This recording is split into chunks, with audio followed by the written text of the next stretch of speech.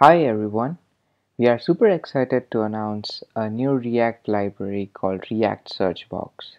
React Searchbox provides declarative props to query Elasticsearch and binds the UI component with different type of search queries. Why React Searchbox?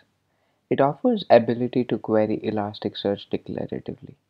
Thus, you don't have to build the complex Elasticsearch queries. It's lightweight and performance focused. It has ability to bind search queries with your own UI components like facets or search results. It is recommended over data search or category search components when you only need search box in your UI and it's open source. So let's have a quick look at the example that is built using React search box. So this is how it looks like we have a search box which is built using react search box then we have a search results which is binded with search box.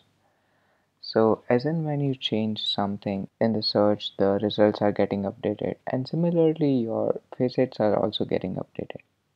Great. So next we can have a quick demo on how to use react search box there are some prerequisites that is you will need an Elasticsearch cluster with some data indexed over there. Also you will need an appbase.io instance as Elasticsearch query generation is not exposed to the front end. You can bring in your Elasticsearch cluster to Appbase or host Elasticsearch cluster on Appbase or host appbase.io on your deployment.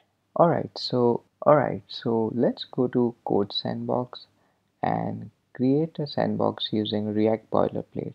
Next, we need to add a React search box library. Uh, so I will search for it and add it. So this dependency is added. Next, I will copy the basic example for now.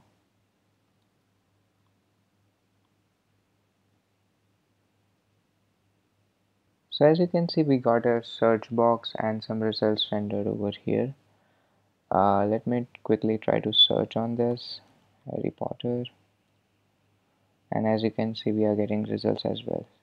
Great. So let's have a quick look at how the code looks like. So we need a search box component from the library search base component and the search component. Now search base is a wrapper component where we configure our appbase.io uh, instance url so this is my appbase.io instance url these are the credentials and this is the elasticsearch index that i'm trying to use next i am using search box component to configure the search box. Here I'm configuring the fields that I want to search on. And we can also add some default suggestions. You can go over the prop list in the documentation. Next we are using search component to bind the results that we will get uh, once the query is triggered. And we are using these results to just render our result set so this is how you can use uh, react search box in a nutshell. Thank you